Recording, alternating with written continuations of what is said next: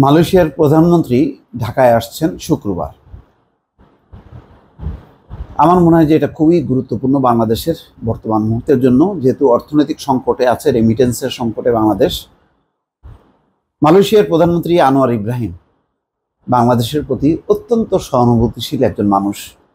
তিনি নিজেও রাজনৈতিক জীবনে নির্যাতিত, দীর্ঘদিন কারাভোগ করেছেন। মাহাতির মোহাম্মদ তাকে মানে কম জেলের ঘানি টানাননি। যথেষ্ট জেলের ঘানি টেনেছেন তিনি লম্বা সময় ধরে। তারপরেও অনেক ধৈর্য নিয়ে তিনি মাহাতির মোহাম্মদের সঙ্গে আপোষ করেই একভাবে নির্বাচন করেছেন। নির্বাচনে জয়যুক্ত হয়েছেন। তারপরও মাহাতির মোহাম্মদকে প্রধানমন্ত্রী করেছেন, কিন্তু মাহাতির মোহাম্মদ আসলে শেষ সময়ে মানে এলোমেলো করে ফেলছেন। তিনি আর নিজের অবস্থান ধরে রাখতে পারেননি। পরে ঘটনার পরম্পরায় আনোয়ার ইব্রাহিম অত্যন্ত মেধাবী একজন মানুষ অনেক ত্যাগ রাজনীতিতে তার মালয়েশিয়ার জন্য এবং মালয়েশিয়ার আধুনিক মালয়েশিয়ার অন্যতম কারিগর বলা যায় আনোয়ার ইব্রাহিম। সেই আনোয়ার ইব্রাহিম বাংলাদেশে আসছেন আরেকজন আহ, বিদ্বান মানুষের কাছে এবং এটা চমৎকার ম্যাচিং হবে।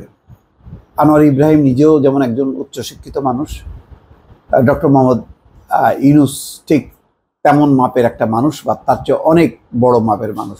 ডক্টর ইউনুসকে ঘিরে যে বিশ্ব নেতাদের যে আগ্রহ, কৌতূহল, সেটা আমরা জাতিসংঘের নিউ ইয়র্কে দেখেছি। তো এখন ডক্টর ইউনুসের সাড়া দিয়ে অনেক বিশ্ব নেতা বাংলাদেশে আসবে। জানি না ডক্টর ইউনুস কতদিন পর্যন্ত তিনি থাকবেন ক্ষমতায়, কিন্তু তার সময়কালে অনেক গুরুত্বপূর্ণ নেতা বাংলাদেশে আসবেন। অথবা ডক্টর ইউনুস যখন বিদেশে যাবেন, তখন তার সাথে সংস্পর্শে আসবেন। এমনকি ডক্টর মোহাম্মদ ইউনুস তিনি যখন নাকি টেলিফোন করবেন, কথা বলবেন বিভিন্ন বিশ্ব নেতাদের সঙ্গে, সেখানেও অনেক কাজ হবে।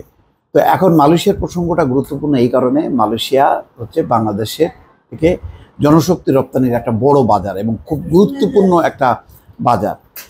তো এই কারণে এই বাজারটা যদি মানে আনোয়ার ইব্রাহিমের কারণে আবার উন্মুক্ত হয়, এখন অলরেডি একটা সেক্টরে উন্মুক্ত হওয়া শুরু করেছে। এটা যদি ফাইনালি আরও উন্মুক্ত হতে শুরু করে, তাহলে এটা আমাদের জন্য একটা মানে বিশাল একটা মানে কি বলে, সুযোগ উন্মোচিত হবে সবার সামনে। এবং অনেক মানুষের কর্মসংস্থান হবে রেমিটেন্স আসবে। তো ডক্টর মোহাম্মদ ইউনুস যদি অনুরোধ করেন, আনোয়ার ইব্রাহিম এটাতে সাড়া দেবে। তবে আনোয়ার ইব্রাহিম, যেটা আমি বুঝি, যে তিনি খুবই কষাস যাতে শ্রম ও শোষণের শিকার না হয়। অর্থাৎ নিয়মমাফিকভাবে যাতে বাংলাদেশের থেকে কর্মীরা যায়, বাংলাদেশি কর্মীর প্রচুর চাহিদা আছে মালয়েশিয়ায়। এই দিকটা উন্মোচিত হবে।